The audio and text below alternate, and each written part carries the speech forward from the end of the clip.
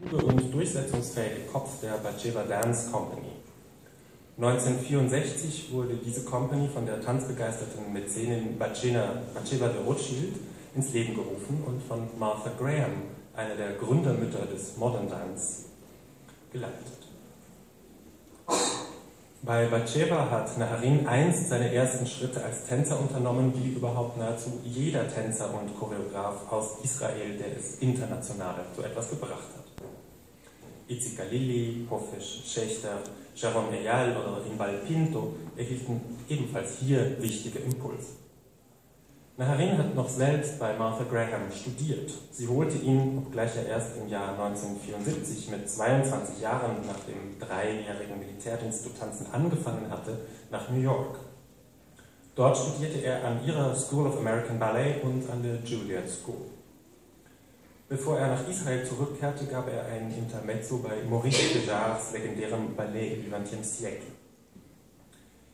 In den vielen Jahren seither hat er sich als Tänzer und Tanzschöpfer profiliert und sich stilistisch wie inhaltlich weit von seinen Wurzeln entfernt. Wenn man Ohad Naharin engagiert, dann wird Gaga trainiert, eine besondere, jenseits des klassischen Trainings liegende Bewegungsform. Auch in Minus 16 spielt die von Naharin ursprünglich eigens für die Batsheva Dance Company entwickelte Gaga-Methode eine große Rolle. Sie setzt auf Improvisation. Sie bricht mit alten Tänzergewohnheiten und fordert auch die Tänzer herauf, sich neu und ihren Körper zu erfahren.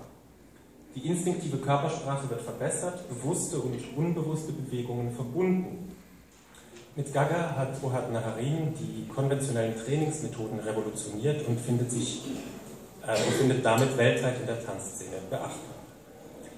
Gelehrt wird die Methode in sogenannten Gaga-Classes, die unter Ausschluss der Öffentlichkeit stattfinden. Sind keine Zuschauer erlaubt. Wer nicht mitmacht, bleibt draußen. Dass es eine intime, unakademische Form des Tanzes ist, das zeigt sich rein äußerlich daran, dass Spiegel aus dem Ballettsaal verbannt werden. Wo normalerweise der Körper im Spiegel kontrolliert wird, schaut der Tänzer quasi nach innen und überprüft seine Haltung. Die Bewegung ist also nicht die äußere Imitation eines tradierten Musters, sondern eine individuell erzeugte Sprache.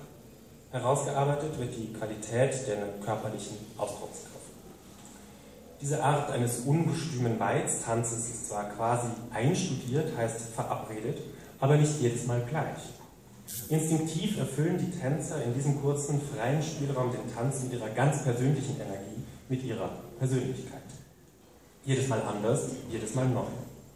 In Minus 16 setzt Naharin einzelne Stücke, die vor allem aus seiner Schaffensphase der 90er Jahre stammen, neu und aufeinander Bezug nehmend zusammen. Eine Art Collage, die durch, die durch die Zusammenstellung zu einer kompakten Werkschau wird und auch Ausdruck seiner Methode ist, die eigenen Arbeiten auf diese Weise ständig neu zu hinterfragen.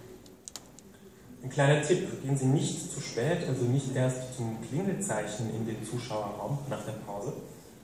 Es beginnt nämlich schon, bevor es anfängt. Und bei dem Solo, das Daniel Mulligan von dem noch geschlossenen Vorhang tanzt, können Sie Gaga in Reinkultur ganz sinnlich erleben. Zum ersten Mal mitzuschauen. Ansonsten möchte ich Ihnen gar nicht mehr viel verraten zu dieser letzten Choreografie, der Sie hoffentlich nicht nur durch die unorthodoxe Musikzusammenstellung überraschen wird. Hava Nagila, der wird so krachiger Folklore gerockt, was das Zeug hält, und dann ist da einer der berühmtesten Batsheva Company Szenen zu erleben. Der religiöse Gesang Echat Miodea, den normalerweise die Familie in 13 Frage- und Antworten am festlichen Pessachtisch singt.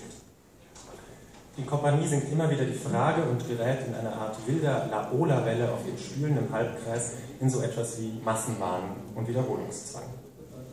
Nur, dass es in der Mitte keinen festlich gedeckten Tisch gibt. Die Mitte ist leer. Und wenn dann alle ihre Kleider abwerfen, Hüte, Jacken, Hosen und Schuhe in die Mitte fliegen und einen Berg bilden, dann kann man bei sowas mit etwas Geschichtsbewusstsein sicherlich nicht gänzlich ohne schreckliche Assoziationen weiterschauen. Aber dann gibt es auch immer wieder Brüche als Zeichen der Hoffnung, wunderbare Poesie, wie zum Beispiel das Duo des Juliette Brunner und Jesse Fraser zu einem Satz aus Antonio Vivaldis Nisi Dominus tanzen, eine Vertonung des Psalms 126. Wenn der Herr die Gefangenen Zions erlösen wird, werden sie sein wie die Träume. Und dabei wünsche ich Ihnen ganz viel Vergnügen, dass auch Sie ein bisschen träumen können. Einen schönen Nachmittag, meine Damen und Herren.